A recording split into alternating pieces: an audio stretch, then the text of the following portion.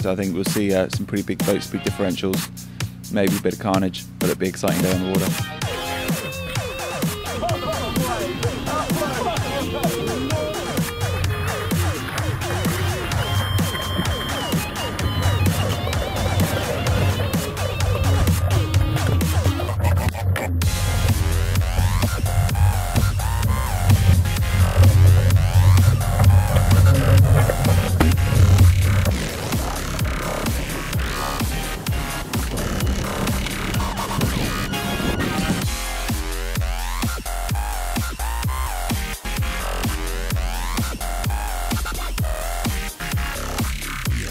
Yeah, it was a really amazing day. Uh, very, very strong condition, and uh, the boat was really, really, um, what do you say, wild, Out of control. out of control. Yeah, for sure.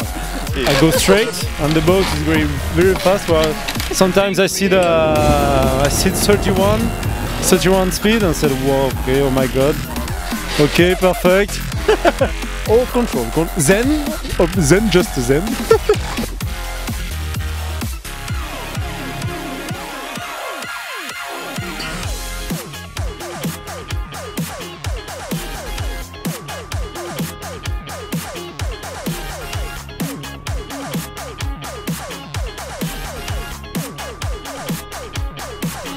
Dumb boy.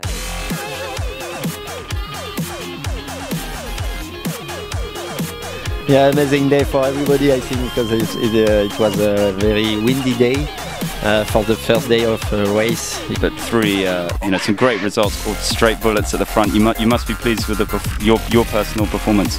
Yeah, the performance is uh, for sure it's very good if you see if you see the table.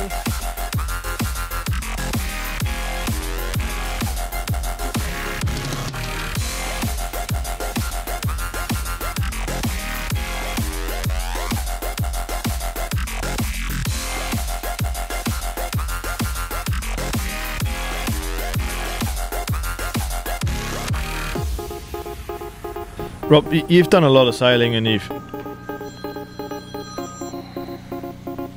It's amateur, that is. that is amateur.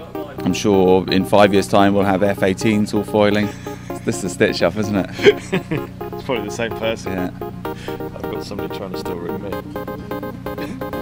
We'll, we'll have to start that one again. So there was one moment where I uh, where I lost the rudder, and the boat went into a jibe. I even broke my uh, my joystick, pushing the trying to push the boat back. I already knew what was going to happen afterwards, and unfortunately, uh, the unfortunate happened. We capsized.